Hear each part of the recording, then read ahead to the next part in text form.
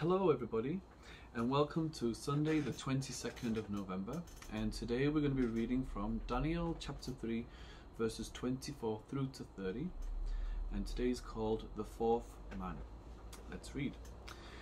Then King Nebuchadnezzar leaped to his feet. He was so amazed he asked his advisers, Didn't we tie up three men? Didn't we throw three men into the fire? They replied, Yes, we did, Your Majesty.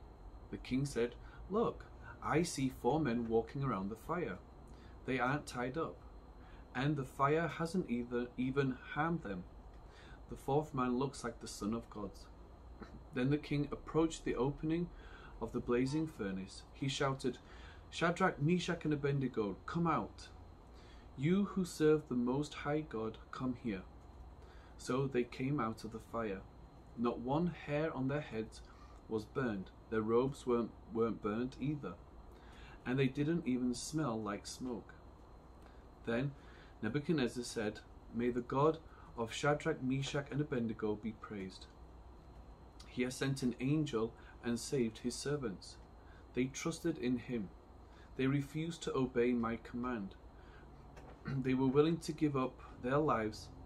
They, they would rather die than serve or worship any god except their own God. No other God can save people this way. Then the king honored Shadrach, Meshach, and Abednego. He gave them higher positions in the city of Babylon and the towns around it. Here today, we read that about King, King Nebuchadnezzar is absolutely shocked with what he saw. So much that he had to check with his advisors um, to see if they tied up Shadrach, Meshach, and Abednego.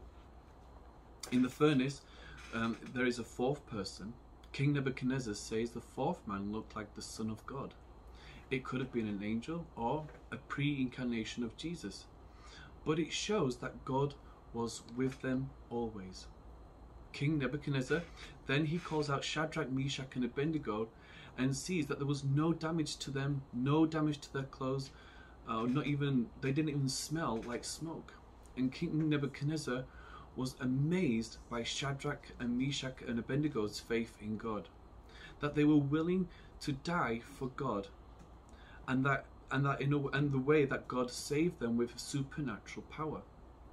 This is the same king that created a golden statue for himself. He made his people bow to his image. But here comes but here King Nebuchadnezzar comes face to face with the one true God. And what is his response?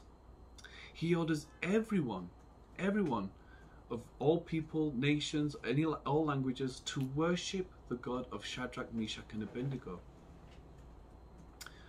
You know, we face daily challenges, not like today's story, but we, we face daily challenges.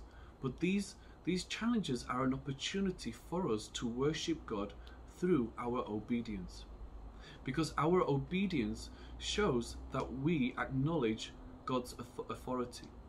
Our decisions will point people to God. Through Shadrach, Meshach, and Abednego's obedience to God, um, God was ultimately glorified, and their act of faith pointed people to God. You know, God is always with us, just like He was with Shadrach, Meshach, and Abednego. So may this fact comfort you whatever whatever challenges you're facing now, that um, that they are opportunities for us to worship God. So whatever situation you're going through, may your obedience point people to God. Let's pray. Dear God, we just want to thank you for this story, this amazing story that we read today, Father God, and we just pray that Father, that we would we would take great comfort from this story, knowing that you are always with us. And Father, I pray that this would give us great and, and more courage to live a life that is obedient to you, Father God. I pray that our lives would um, would would be obedient and would point people to you, Father God. So, Father, give us comfort, give us strength, so that whatever decisions we make, Father God, may they be glorifying to you and point people to you. And we pray this in Jesus' name. Amen. Bye bye, everyone.